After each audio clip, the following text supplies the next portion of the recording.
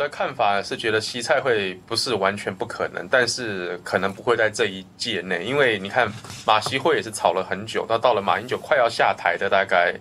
他是二零一五年十一月，就是就是两年前的十一月七号嘛。那那个时候距离台湾的选举其实也不到两个月了。那他其实也是最后只剩下半年的时间才实现的。那如果蔡英文跟蔡习会要实现，恐怕也要等到蔡英文的第二任内，因为他也要向他的支持者交代。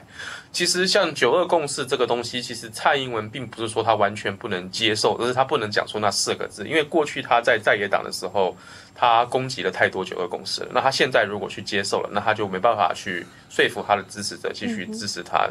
那所以他现在当然就是希望说中共能够退一步，说不见得一定要那四个字，可以用别的一些话语来替代啊，比方说什么九二的历史事实啊，他好像还听过很多，比方说我们我们他他他讲了很多的替代品，或者说他在他在那个。他就职典礼的时候，他也提到过，说会依照《两岸人民关系条例》来处理两岸的关系。其实就是只要讲说两岸是属于一个国内的架，一个宪法上属于一个中华民国国内的架构。其实他这个要解套也不难，但是要看中共他愿不愿意也退这一步。如果中共他不退的话，可能也。没办法，那现在中共看起来习近平是更有自信，那就回到刚刚方先生提到，现在蔡英文他有没有自信？他没，他现在就至少要等到他选举完第二个任内，他已经没有那个连任的压力以后，他才有可能去考虑做接下来的这一步。那现阶段我也是觉得微微谈这个还太早了，现在。